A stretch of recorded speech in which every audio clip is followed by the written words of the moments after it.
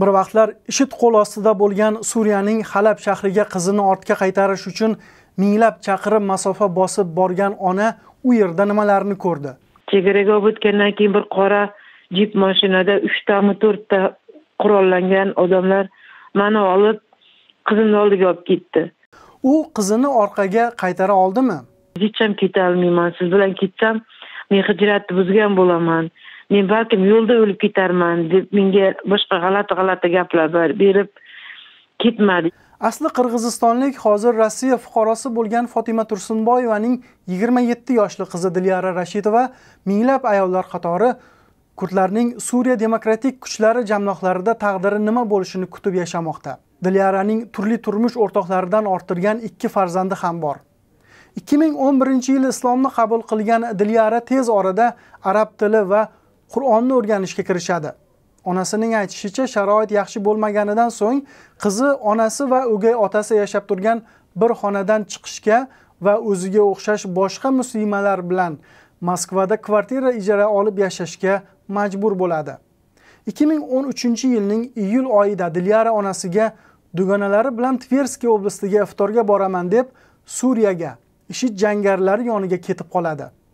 Dilyara rashidova yo'qolganidan 17 kun o'tib turkiyadan suriyaga o'tayotgan vaqtda onasiga telefon qilib hech narsadan xavotir olmaslik kerakligini aytadi.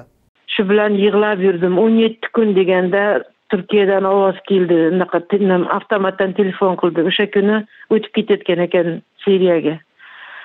menga aytdi oyijon men dedi. Boshqa joyga o'tib ketyapman. Mana xijolat bo'lmang. Tirikman yaxshiman. Hademay yaqinda man turmushga chiqaman deb aytdi.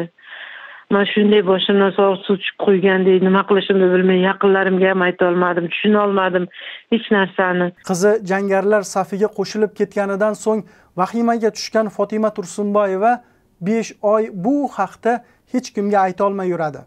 Biroq keyin politsiyaning tavsiyasi bilan rossiya federal xavfsizlik xizmatiga murojaat qiladi. Xizmatdagilar fotima tursunboyevani turkiya orqali suriyaga borib qizini ortga qaytarib olib kelish uchun yordam beradi.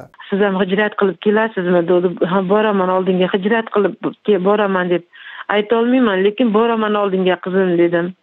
Mayli keling dedim man dedi bu yoqdagilar bilan gaplashib qo'yaman. ikki ming o'n to'rtinchi yilning oktyabr oyida u turkiya orqali suriyaning halab shahriga o'tadi. Bu vaqtda suriyadagi ishid jangarilari qo'liga borib qo'shilgan dilyara u yerda bir oyog'i hamda bir ko'zi yo'q chechen jangarisiga turmushga chiqqan edi onasining aytishicha qizining eri yigirma kundan so'ng halok bo'ladi. Dilyara boshqa beva ayollar singari uch qavatli uyda iddasi chiqishini kutib turardi. U qizini ortga qaytarishga uringan. Biroq turdim yerda unisi mehmon qildi bunisi mehmon qildi. Yashash sharoitlari juda yam yaxshi edi. Bitta uy texnika issiq suv sovuq suv. Lekin kechqurun soat ikkidan keyin как положено hamma narsa boshlanardi. Portlashuv tushishuv hamma notinchlik. Shunaqa qilib yuragimni ushlab o'tirdim ketaylik dedim qizimdan iltimos qildim ketaylik qizim haliyam vaqt bor dedim oyijon man siz bilan birga ketolmayman dedi hozir hech ham ketolmayman siz bilan ketsam men hijratni buzgan bo'laman men balkim yo'lda o'lib ketarman deb menga boshqa g'alati g'alati gaplar berib ketmadi yigirma kun turdim qizimni oldida yig'ladim yig'ladim yana o'sha olib kelgan odamlar mani yana qaytarib olib kelishdi bitta joyga qizini ortga qaytarishga ko'ndira olmagan fotima tursunboyeva rossiyaga qaytadi. Keyinchalik ikkinchi marotaba federal xavfsizlik xizmati yordami bilan suriyaga o'tishga yana bir bor harakat qiladi. Biroq bu harakatlari ham samara bermaydi. Uning aytishicha uch marta jangarilarga turmushga chiqqan qizi keyinchalik qilgan ishidan pushaymon bo'ladi va ortga qaytishga harakat qiladi. Lekin endi kech bo'lgan dilyara qochishga uringanda har safar ishid jangarlari uni tutib olavergan.